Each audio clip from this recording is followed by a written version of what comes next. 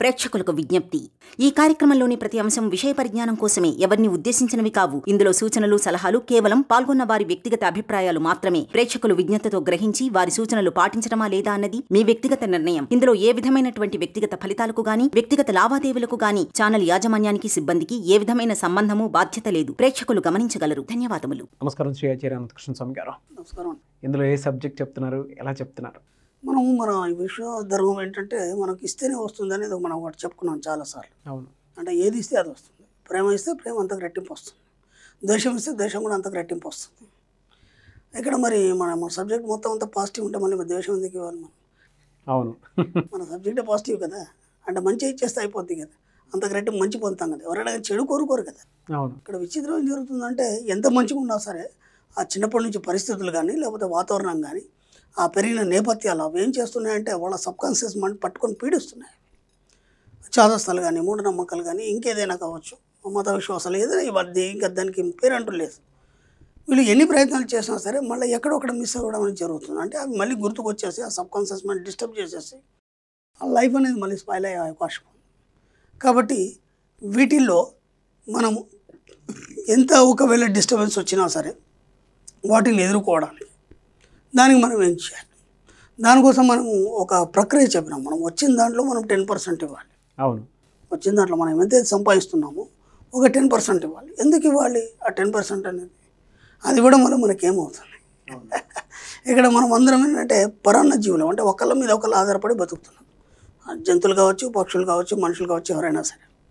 ఇప్పుడు నీ సంపాదించిన దాంట్లో మీరు కొంత ఇవ్వడం వల్ల ఇంకా కొత్త వాళ్ళకి ఒక జీవితాన్ని ఇచ్చిన వాళ్ళు అవుతారు. అందరూ మనలాగే ఉంటారు కదా. లేని వాళ్ళు ఉంటారు పేదలు ఉంటారు. వాళ్ళకి డబ్బుని ఎలా సృష్టించుకోవాలో తెలియదు మనకంటే ఇప్పుడు వీడియోలు ఉంటాం క్లాసులు ఇవన్నీ కాబట్టి కొంత కొంత కొంత జ్ఞానం వచ్చింది మనకి. అవును. ఇంతకుముందు ఉన్న పరిస్థితులు ఎవరికి లేవు. మన క్లాసులు విన్న వాళ్ళకి కానీ వీడియోలు విన్న వాళ్ళకి కానీ ఇంతకుముందు ఉన్న పరిస్థితి లేవు. చాలా మార్పులు వచ్చాయి జీవితాల్లో చాలా చక్కగా ముందుకెళ్ళిపోతున్నారు డబ్బు సంపద విషయంలో. తెలియని వాళ్ళ పరిస్థితి ఏంటి? అప్పుడు ఇంతకుముందు మీ పరిస్థితి అదే. ఇప్పుడు కొద్దిగా ఎంతో కొంత సంపాదించుకుంటున్నారు. ఒక ఒక గెయిన్ చేస్తున్నారు. ఒక స్థాయికి వచ్చారు. స్థాయికి వచ్చిన తర్వాత ఇప్పుడు మనం ఇవ్వడంలో ఏమవుతుందంటే వాళ్ళకు కూడా ఒక సంతోషాన్ని పంచిన వాళ్ళం అవుతాం. అసలు అసలు టెన్ పర్సెంట్ ఎందుకు ఇవ్వాలి? దానివల్ల ఏమేమి అవుతుంది? మీకు కొన్ని బిట్స్ చదివి వినిపిస్తాను నేను. షూర్ సార్ ఎందుకంటే దీని క్లారిటీ మళ్ళీ ఇక దీని మీద మనకి ఈ క్లారిఫికేషన్ కానీ ఇది ఎందుకు అవన్నీ డౌట్స్ లేకుండా ఒకసారి కొన్ని బిట్స్ చదివి వినిపిస్తాను. Sure sir sure sir first పదో వంతు అంటే టెన్ పర్సెంట్. అంటే మీ రాబడిలో కొంత భాగాన్ని నిజమైన అనంతత్వానికి పవిత్ర కార్యాలకు అంకితం ఇవ్వడం అన్నమాట. ఓకే? ఎంత తక్కువ చెప్పాడు చూడండి. ఇక్కడ ఏం చెప్పాడు? మీరు ఏదైతే టెన్ పర్సెంట్ ఇస్తున్నారో అంటే రాబడిలో మాత్రమే చెప్పాము మనం. అంటే ఇప్పుడు మీరు ఒక పదివేలు వచ్చాయి. దా- అంటే అది ప్రాఫిట్ మాత్రమే. అంటే మొత్తం దా డబ్బుల నుంచి కాదు. మీకు వచ్చిన ప్రాఫిట్ ఒక పదివేలు వచ్చింది. ఒక వెయ్యి రూపాయలు. దాంట్లోంచి మాత్రమే. దాదాపు లక్ష రూపాయలు వచ్చాయి. దా మొత్తం లక్ష రూపాయల నుంచి ఇవ్వడం కాదు. దాంట్లో మీ ప్రాఫిట్ ఎంత?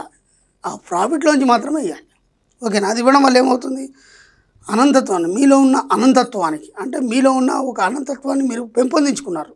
అంటే పరిపూర్ణత్వాన్ని పెంపొందించుకున్నారు. దాన్ని గౌరవించిన వాళ్ళు అవుతారు. రెండోది ఏమంటున్నాడు ఇక్కడ?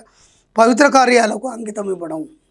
అంటే ఇక్కడ మనస్ఫూర్తిగా ఇస్తున్నారు కాబట్టి అక్కడ కూడా ఆ కార్యాలు అనేటివి టకటక చకచక ముందుకెళ్ళిపోతాయి. మీ ఇష్టపూర్వకంగా ఇస్తున్నారు. రెండోది ఏంటంటే పదో వంతు అంటే మీ నమ్మకాలు దృఢ విశ్వాసాలు మీ గురించి మీకున్న అంచనాలను మీలో ఉన్న నిధి గృహానికి అంటే మీ సుప్త చేతనాత్మక మనస్సుకు ఇవ్వడం అని అర్థం కూడా ఉంది. ఎప్పటివరకు మనకి సబ్ కాన్షియస్ మైండ్ అనేది ఒకటి ఉంటుందనేది తెలియదు మనకి.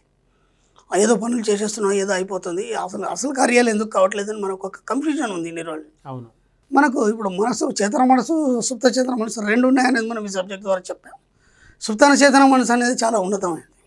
మనకి ఏదైనా సరే అది మాత్రమే మనకి ఇవ్వాలి. దాని ద్వారా మన జ్ఞానాన్ని పొందుతాం. దాని ద్వారానే ఈ సృష్టిలో ఏదైనా సాధ్యపడుతుంది. దాని గురించి మనం ఎన్నోసార్లు చెప్పుకున్నాం సబ్ కాన్షియస్ మైండ్ గురించి. కాబట్టి మీ సుప్త మనస్సుకు మనసుకు మీరు ఇస్తున్నట్టు అనమాట అది. అప్పుడు ఏమవుతుంది? మీ ఇన్నర్ మైండ్ అనేది చాలా సంతోషిస్తుంది. సంతోషించి ఏం చేస్తుంది? మీకు అంతకు రెట్టింపు ఇవ్వడం జరుగుతుంది. Number two point. సామరస్యపూర్వకమైన మానవ సంబంధ బాంధవ్యాలకు ఈ ప్రక్రియ చాలా అవసరం. ఎంత బాగా చెప్పండి చూడండి. అంటే ఇది ఇవ్వడం వల్ల ఏమవుతుందంటే సామరస్యపూర్వకమైనటువంటి వాతావరణం ఏర్పడుతుంది. ఎటి వాళ్ళలో కూడా ఒక మంచి ఫీలింగ్ ఏర్పడుతుంది. ఇక్కడ ఎలాంటి ఈర్ష్యాశ్వ ద్వేషాలు లేవు కాబట్టి వాళ్ళ లోపల కూడా ఒక మంచి భావన పెంపొందించడానికి మీరు ఇవ్వాలి. అలాగే ఇంకేం చెప్తున్నాడు? ఎలా అంటే మన మనసులోని ఇతర వ్యక్తికి హృదయంలోనూ ఒకే చర్యలు ప్రసారం అవుతున్నాయని భావించడం. అర్థమవుతుంది? అప్పుడు మనం సుదృ సుహృద్భావంతో మనం ఎప్పుడైతే ఇస్తున్నామో ఆ ఎయిటి వ్యక్తిలో కూడా ఆ ఫీలింగ్ వస్తుంది. మరి చూడండి సపోజ్ మీరు అలా వెళ్తున్నారు ఎవరో పిల్లలు ఉన్నారు డబ్బులు అడిగారు మీరు. మీరు తీసి ఇచ్చేస్తారు. అప్పుడు ఆ ముఖంలో ఎంత ఆనందం ఉంటుంది. అంతవరకు ఉన్నటువంటి ఆ ఆకలి కానీ ద్వేషం అవన్నీ ఏముండవు. ఆ ఎంత ప్రేమతో తీసుకోవడం జరుగుతుంది. అంటే మీరు ఎంత సుహృద్భావంతో ఇస్తున్నారో ఏటి వరలో కూడా ఆ సుహృద్భావం అనేది పెంపొందించడం అనమాట ఇది ఇవ్వడం వల్ల అలా జరుగుతుంది అని. ఇంకేం చెప్తున్నాడు? సామరస్యపూర్వక దివ్య పరిష్కారం. ఇరువురి మధ్య ఏర్పడుతుంది. ఎంత అద్భుతంగా చెప్తున్నాడు. అలాగే నంబర్ త్రీ విశ్వం యొక్క వర్ణనాతీతమైన సౌందర్యం మీ ద్వారా రూపొందుతుందని తెలుసుకొని ఈ క్రియని చేపట్టండి. వర్డ్స్ ఎంత బాగున్నాయండి అవునండి. ఎంత చక్కగా ఉంది. మీ విశ్వం యొక్క వర్ణనాతీతమైన సౌందర్యం మీ ద్వారా రూపొందుతుందని తెలుసుకొని ప్రక్రియను చేపట్టండి. విశ్వం అంటేనే ఒక అద్భుతం. ఆ వర్ణనాతీతమైనటువంటి ఆనందం మీరు ఫీల్ అవుతున్నారంటే ఇంకొక కొత్త మంచి విషయాన్ని ఒక మంచి వాతావరణాన్ని మీరు క్రియేట్ చేస్తున్నారని ఫీల్ అవుతూ ఇవ్వండి. అప్పుడు ఏమవుతుంది అంత ఆనందమయం అవుతుంది దాంతో ఇతరులు ప్రేరణ పొందుతారు. మీరు అలా చేయడం వల్ల ఇతర ఇటు వల్ల కూడా ఇవ్వాలనే ఒక ఆలోచన వస్తుంది. మీరు వాళ్ళకి ఇచ్చారు వాళ్ళకి కూడా ఆలోచన వస్తుంది. వాళ్ళు కొద్దిగా మంచిగా వాళ్ళు కూడా ఇవ్వడం మొదలు పెడతారు. అవును. అంటే ఒకరి నుంచి ఒకరికి ఇవ్వడం అనేది అంటే మన సబ్జెక్ట్లో కూడా ఎన్నోసార్లు చెప్పుకున్నాం. మనం ఇవ్వడం అనేది ఒక వ్యసనంగా మారాలని చెప్పేసి. అలాగని చెప్పేసి ఆ పనికిరాని ధర్మాలు చేయదు దాన ధర్మాలు పనికిరాని దానికి ఒక లెక్క ఉంది టెన్ పర్సెంటే. దాని గురించి మనం చెప్తున్నాం అంతే. మళ్ళీ అలాగని చెప్పేసి చెయ్యికి ఏం కలియకుండా దాన ధర్మాలు చేస్తే మళ్ళీ మీరు వాళ్ళ దగ్గర ఆడుకోవాల్సి వస్తుంది. అలా చేయకండి. టెన్ పర్సెంట్ గురించి దాని యొక్క ఫీలింగ్ ఏంది ఎందుకు ఇవ్వాలని మాత్రమే చెప్తున్నాం. ఇది ఖచ్చితంగా మీరు పాటించండి. ఓకే? అలాగే నెంబర్ ఫోర్. మీరు మీ ప్రేమను సుహృద్భావాన్ని ఇతరులకు ఎంత ఎక్కువగా ఇస్తే అంతకంటే ఎన్నో రెట్లు అధికంగా అసంఖ్యాక మార్గాల్లో మీరు వాటిని తిరిగి అందుకోగలుగుతారు. ఇప్పుడు మనం ఇచ్చేప్పుడు కూడా మనం ఏం చెప్తున్నాం? మనం క్లాస్లో చెప్తాం ఒక్కొక్క మాట చెప్తాం కొన్ని పదాలు చెప్తాం. ఎక్కడ డబ్బు ఇచ్చినా చేసినా కొన్ని పదాలు చెప్తాం. ఇప్పుడు మరి ఇచ్చేప్పుడు కూడా చెప్తున్నారు కదా? చెప్పినప్పుడు ఏమవుతుంది? అనేక మార్గాల్లో. అంటే ఇది అదని కాదు. మీకు తెలియకుండా ఆకస్మిక ధన ప్రాప్తి కావచ్చు ఇంకేమైనా కావచ్చు ఇంకా అన్ని రకాల ఎన్నో మార్గాలు మీకు డబ్బు వచ్చే అవకాశం ఉంది అది చెప్తున్నాడు ఇక్కడ. మీరు అలా చేస్తుంటే అపురూపమైన సంపదలన్నీ మీకే వస్తాయి. ఎంత చక్కగా చెప్పాడు.